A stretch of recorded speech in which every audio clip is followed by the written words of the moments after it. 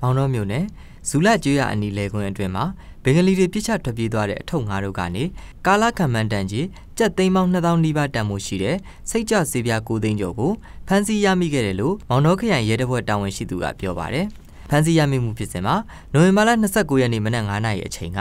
မူရစ်စေဝါတွေကိုအငူမော်မောင်တော်ကားလန်အတိုင်းတည်ဆောင်ပြီးမောင်တော်မြို့နယ်ဇူလက်ရွာကိုပို့ဆောင်မယ်ဆိုတဲ့သတင်းအရလုံခြုံရေးတပ်ဖွဲ့ဝင်တွေကမောင်တော်ကျိန်ချောင်းကားလန်ကနေပိတ်ဆို့ဆောင်ဆန်းနေခဲ့တယ်လို့သိရပါတယ်။ဒီလိုဆောင်ဆန်းနေစဉ်မနက်6နာရီခွဲအချိန်ကအသက်16နှစ်အရွယ်နတ်တလရွာနေရင်မောင်းမောင်ဝင်းတင်မောင်းနေပြီးအသက်16နှစ်အရွယ်မောင်ကျော်ကျော်လင်းအသက်19နှစ်အရွယ်ဦးမောင်သိန်းတို့လိုက်ပါလာတဲ့ဟိုက်ချက်အမျိုးသားရင်ဟာမောင်တော်မျိုး၃မိုင်လမ်းစုံဘက်ကမောင်းနေလာပြီးဇူလိုက်ရွာအနီးမှာရပ်တန့်ပြီးမတင်ကားပွဲအထုပ်တွေကိုလမ်းဘေးချနေတာတွေကိုတွေ့ရတာဖြစ်ပါတယ်။ အဲ့ဒီအချိန်မှာဇူလက်ရွာဘက်ကနေဘင်္ဂလီလူမျိုး15ဦးခန့်ကအဲ့ဒီအထုပ်တွေကိုလာရောက်တည်ဆောင်ပြီးဇူလက်ကျွေးရဘက်သို့ထွက်ပြေးသွားတာကိုတွေ့ရှိတာကြောင့်လိုက်လံဖမ်းဆီးခဲ့ရာဘင်္ဂလီတွေကအထုပ်တွေကိုလေကွင်းအတွင်းသို့ချကထွက်ပြေးသွားခဲ့တယ်လို့သိရပါတယ်။အဲ့ဒီအထုပ်တွေဟာမူရစ်စေဝါလို့ယူဆတာကြောင့်စာလာရေးအထုပ်၅ထုပ်ဟိုက်ချက်အမျိုးသားခရောင်ရင်နဲ့အတူရင်မောင်းမောင်ဝင်းတင်ရင်ပေါ်လိုက်ပါလာသူမောင်ကျော်ကျော်လင်းဦးမောင်သိန်းတို့၃ဦးကိုဖမ်းဆီးရမိခဲ့တာဖြစ်ပါတယ်။အဲ့ဒီမူရစ်စေဝါထုပ်များဟိုက်ချက်ရင်နဲ့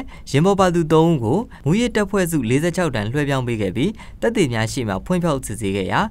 WY စာတန်းပါစိတ်ကြွဆေးပြား9,9500ပြားကာလတန်ဖိုးတပြားကိုကျပ်2000နှုန်းနဲ့ကျပ်သိန်းပေါင်း2000ကျပ်တန်ဖိုးခန့်ကိုတွေ့ရှိခဲ့ရပြီးဥပဒေနဲ့အညီအရေးယူနိုင်ရေးဆောင်ရွက်လျက်ရှိတယ်လို့သိရပါတယ်။နိုဝင်ဘာ22ရက်နေ့ကလည်းမောင်နှမြို့နယ် ဇူလကျွေးရနဲ့မကြီးကုန်းကျွေးရကြားရှိလေကွင်းအနီးတောင်ချီခြုံထဲကနေတွေ့ရှိသိမ်းဆည်းရမိတဲ့အထုပ်သုံးတို့ဟာကာလာတန်ဖိုးကျပ်သိန်းပေါင်း11193သိန်းတန်မှုရှိ WY စိတ်ကြွဈေးပြား9သိန်းကျော်ကိုဖမ်းဆီးရမိခဲ့တယ်လို့မောင်တော်ခရိုင်ရဲတပ်ဖွဲ့ကသိရပါဗျ။